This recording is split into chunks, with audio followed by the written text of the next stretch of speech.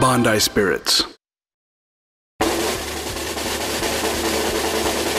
ドドーン！ということで今回はダンボール戦記 LBX シリーズ今発売されている全17章ドドーン！とご紹介。全員揃うと大迫力。それじゃあ一気に行ってみよう。今回はアーマーフレームのタイプごとに紹介していくぞ。まずはナイトフレーム。なんといっても最初は主人公機のアキレス。アキレスランス。アキレスシールド。やっぱりアキレスはかっこいいね。お次はこれ。AX00 走行はシンプルだけど基本性能は非常に高いと噂の LBX だ。なんだこの飛行形態。そう。飛行形態に変形できる。それがオーディーン背中のメカメカしい羽がかっこいいよね。こちらは The エンペラー。みんなよく知ってるよね。全体的にトゲトゲしててすげえ強そう。そしてさらにトゲトゲしているのがゼノン。武器はゼノンハルバード。このボリューム強そう。頭といい尻尾といい漆黒のナイトですな。ジ・エンペラーとゼノンを並べてみると似てるけど違いがはっきりわかるよね。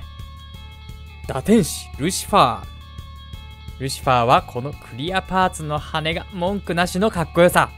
武器も剣のヘブンズエッジと盾の天帝ネメシスシールド。次のフレームはワイルドフレーム。ワイルドフレームの LBX はこの2体。ハンターとフェンリルだ。野生味あふれるこのスタイル。狼ってところがかっこいいよね。この2体の特徴は何といってもこのライフル。遠距離攻撃が得意なつわものだ。次のアーマーフレームのタイプはストライダーフレーム。軽量型で俊敏な動きを得意とするフレームだ。この一番左はくのいち可憐さとかっこよさがマッチしているね。お隣はパンドラ。スピードが速そうな LBX だ。そして残りの右2つがジョーカーとナイトメア。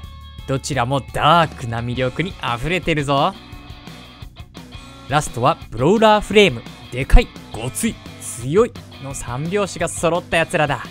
まず紹介するのはジェネラル。1つ目で銃を構えたらなんとも狙撃が得意そうな LBX だ。もう1体の1つ目デクー。2体ともバランスが良くてぜひ揃えておきたい LBX だ。破壊王。そして破壊王 Z 絶対強いでしょう。破壊力満点の LBX だ。最後の17体目はイフリート。見てこのドラゴンみたいな大きな尻尾。この炎の拳。こんなんでパンチされたらひとたまりもねうひょー。壮観。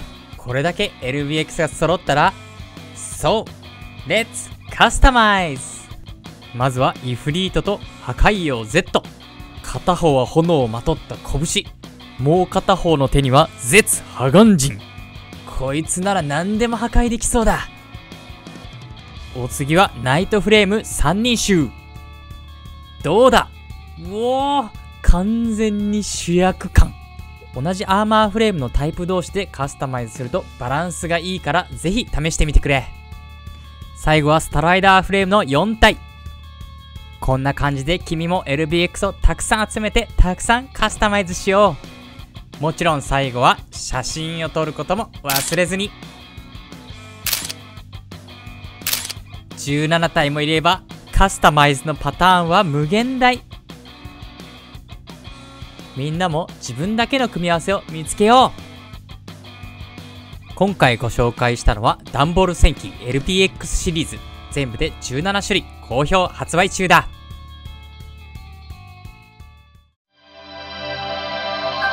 Bondi Spirits.